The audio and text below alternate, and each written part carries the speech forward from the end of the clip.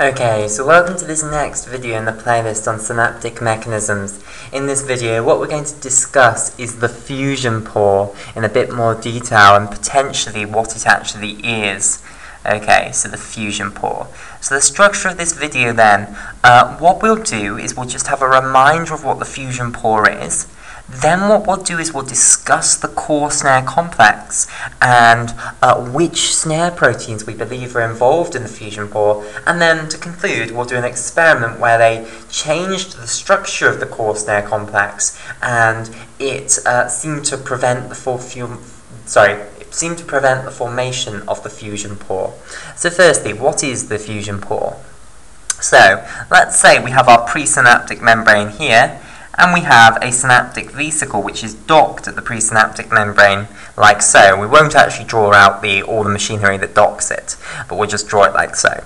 Okay, then when an action potential arrives in the axon terminal, it causes um, the promotion of the fusion of this synaptic vesicle with the plasma membrane.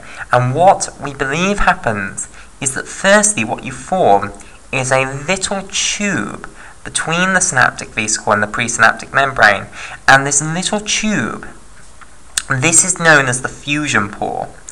And basically, the fusion pore seems to allow the movement of a little bit of the neurotransmitter from the synaptic vesicle into the plasma membrane. It also seems to allow for the merging of the two membranes. Okay, so the merging of the um, synaptic vesicle membrane into the plasma membrane there. So a little bit of the synaptic vesicle membrane seems to go into the plasma membrane.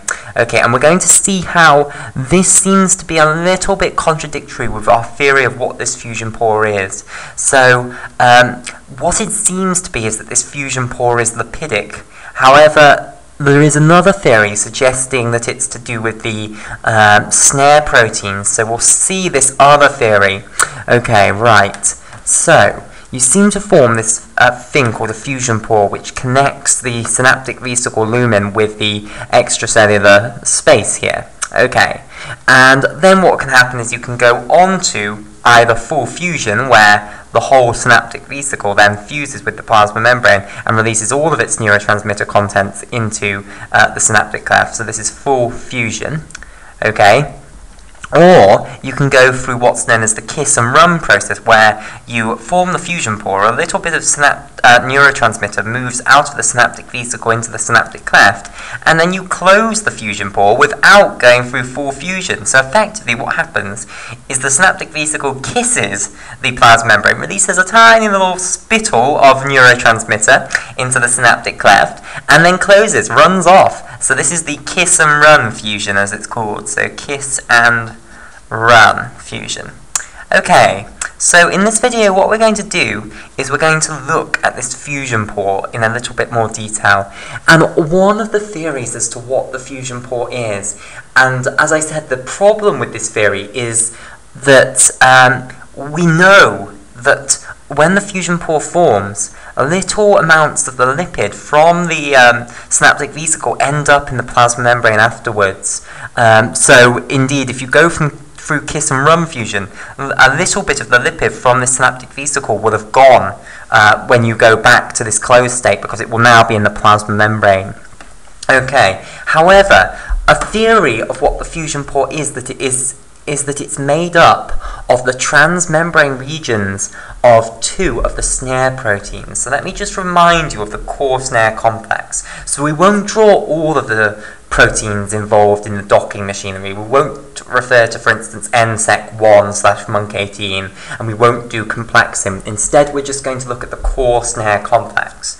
So, if this is our synaptic vesicle here, okay, and I'm going to um, now draw it like this. So I move the plasma membrane, I've spun this picture around 90 degrees. Okay, so the formation of the core snare complex involves these snare proteins. Uh, so I'll just write that down, snare proteins. Uh, which stands for snap receptor proteins. That's where snare comes from. So this stands for snap receptor, or snap receptors, I suppose. Actually, it probably is snap receptor Okay, proteins. Right, So, you can divide the snare proteins roughly into two groups in the case of synaptic vesicle fusion, or docking in this case. Um, you can divide them into the V snares, which are those associated with the vesicle. Okay, so V stands for vesicular snares. And then you can divide them in also, the other group is the T snares, which are stands for the target snares. So this stands for target. Okay, and the V snares or vesicular snares are those snare proteins which are within the membrane of the synaptic vesicle. And the T snares or target snares are those snare proteins which are associated with the plasma membrane. Now, there is one V snare, okay, and its name is a protein known as synaptobrevin 2. So this is synaptobrevin 2. I think I'll colour it in in orange. Okay, so in orange here, this is synaptobrevin 2.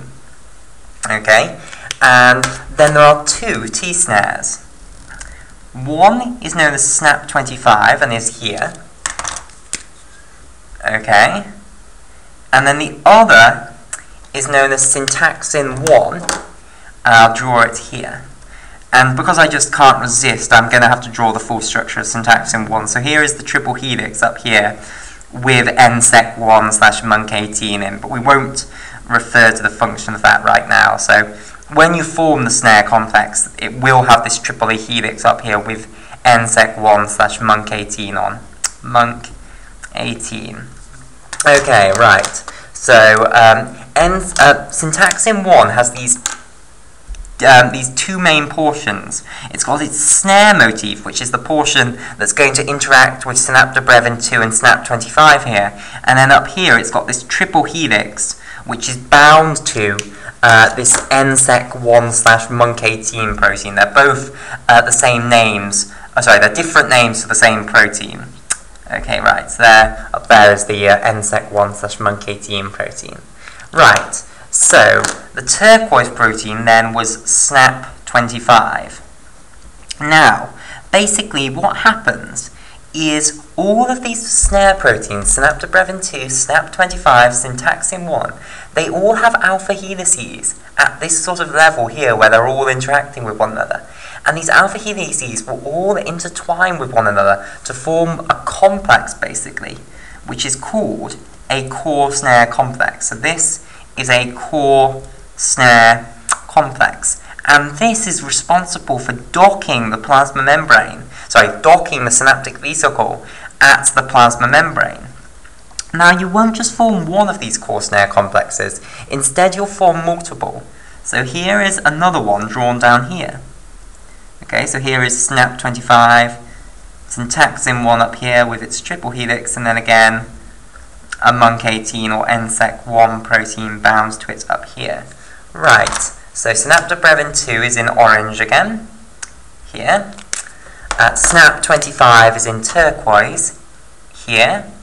Okay, uh, syntaxin 1 is in blue here, and I've just realised I haven't labelled syntaxin 1 up on before, so I'll label it here. So this is syntaxin 1, okay?